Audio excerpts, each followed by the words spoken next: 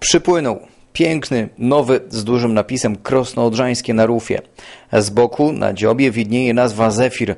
Statek, dla którego portem macierzystym jest Krosno-Odrzańskie, wpłynął w końcu do portu. Jednostka, która ma być głównym czynnikiem do rozwoju turystyki w nadodrzańskich gminach, zacumowała przy nabrzeżu. W uroczystym powitaniu brało udział wielu mieszkańców z całej gminy oraz gości z całego województwa.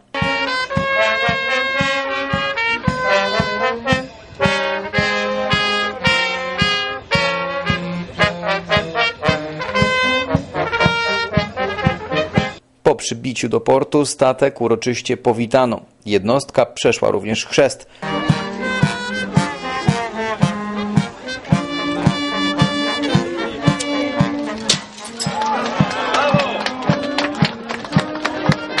I poświęcenie.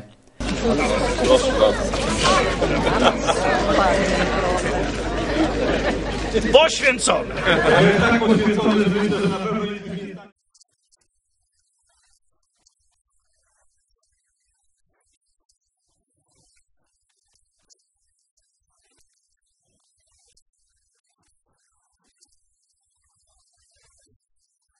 To właśnie projekt realizowany przez nadodrzańskie gminy staje się wzorem do rozwijania ruchu turystycznego.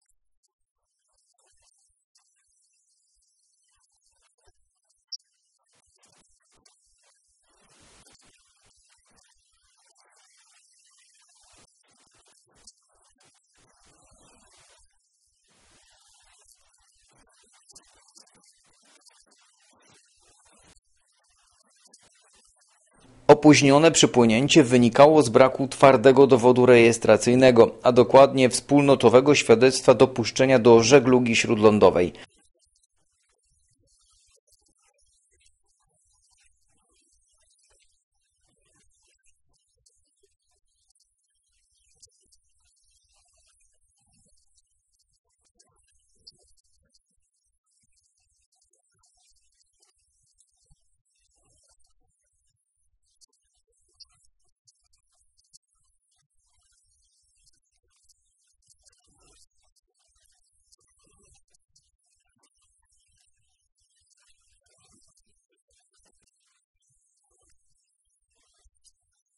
Marek Cebula, burmistrz Krosna Odrzańskiego, mówi, że to pionierskie przedsięwzięcie w skali kraju i chociaż na początku wiele osób wątpiło w możliwość realizacji tak ambitnego zadania, dzisiaj udowadniamy, że dzięki współpracy i wytrwałości można wiele.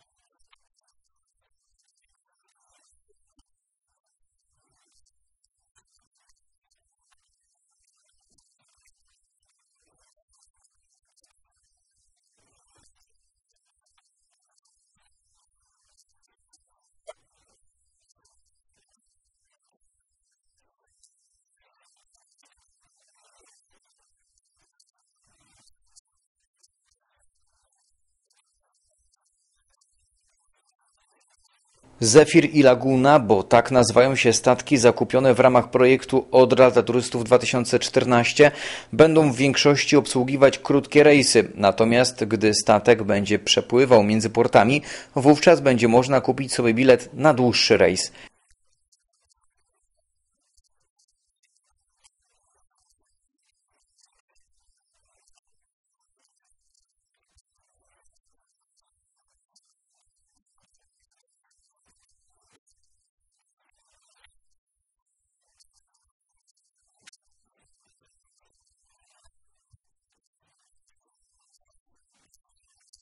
Statki są elementem, od którego zaczyna się większa polityka turystyczna w regionie.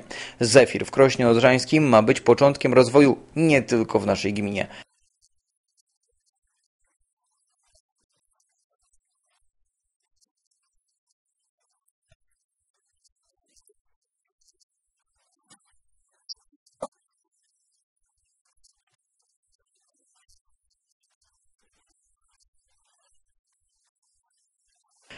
Przypadku Krosna Odrzańskiego równolegle z projektem Odra dla turystów realizowano inne rekreacyjne koncepcje, które mają uatrakcyjnić gminę.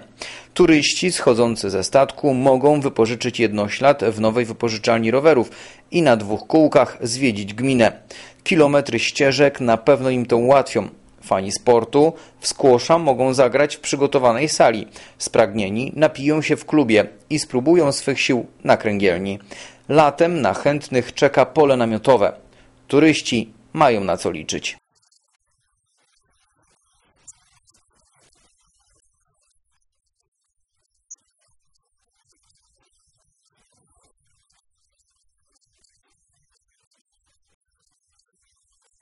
Wydarzenie, od którego wiele się zaczyna. Samorządowcy liczą przede wszystkim na ożywienie Odry.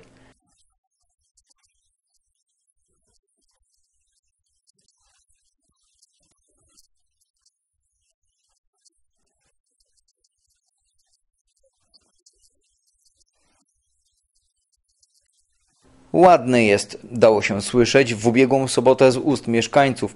Jeszcze późnym popołudniem, gdy na dworze robiło się szaro, przychodzili oglądać statek, ba nawet robić sobie zdjęcia na jego tle.